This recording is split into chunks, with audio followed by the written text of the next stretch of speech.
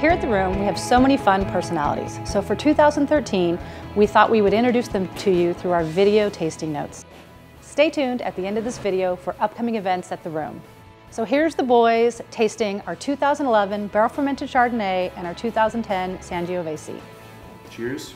Cheers. Cheers, guys. Cheers, Jake. Happy New Year. Happy New Year Yeah, to Happy you. New Year. All right, guys, we're starting with 2011 Barrel Fermented Chardonnay. It's Burgundian in style, but still New World. So you get a little bit of citrus peel, some fig, maybe a little bit of apple and pear. It's just really b- well balanced between the two. Has a nice creaminess to it. Um, so we're, you know, it's just a nice, impressive Chardonnay, I believe. Like football game, game day, just open a bottle of Chardonnay. I'd have to say chicken wing.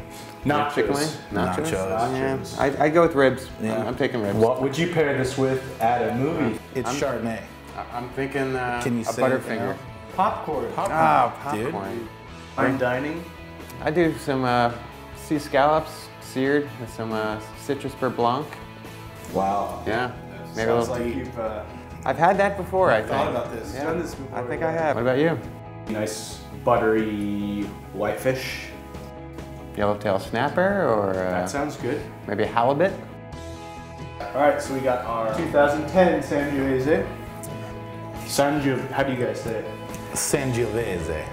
Sangiovese. Sangiovese. You get some uh, some New York Italians and you don't pronounce it right, you know, you might end up in the dumpster. Yeah, that's right. What are we smelling this? Me? Yeah, you- Sun-dried tomato, Sun-dried tomato? cranberry, red cherries. Not too dark. Yeah. I get a little more darker cherry for me. Okay. Um, and I, I get like that overly ripe strawberry. It's just a bright red wine. Fruit forward. Fruit forward, very very bright, and I just think that that's a great adjective for it. BCS championship game. We're opening a bottle of Sangiovese. What are you guys pairing it with? Jake? Dude, I, like I said, I'd have to go pizza. I mean, ah. pizza, Sangiovese, all the way. Ostrich burgers.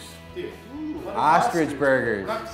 Oh, dude, I'm doing it. Where is it on the couch? I'm doing it. Ostrich burgers. I'm gonna go even crazier than that with a poached duck egg on top. What do you guys pair this with for movies if you're watching a movie? I would pair this with Apocalypse Now. And food with that? What about the food? Because there's nothing like the smell of Sangiovese in the morning. Yeah. This would this would uh, be more of a milk chocolate, uh, maybe a Hershey's or Nestle. What do we got for fine dining? Mine is a veal osso buco. Vilo Sabuco. I think this would go fantastic with that. san Sangiovese. Sangiovese. Sanginovese. Actually, we do have a Gino here. Uh, Gino. Gino. Sangino. Sangiovese. Come on over. Now Gino just Yeah. Earlier, we were talking about game day. What would you have game day? I'm a I'm a big fan of black bean burgers right now. Mm. Cheers, you guys. Happy New Year. It's the Sangiovese 2010. Awesome vintage. All right. Back to work. We hope you enjoyed the boys and their great tasting notes. Come in in February for Valentine's weekend for our fabulous chocolate buffet.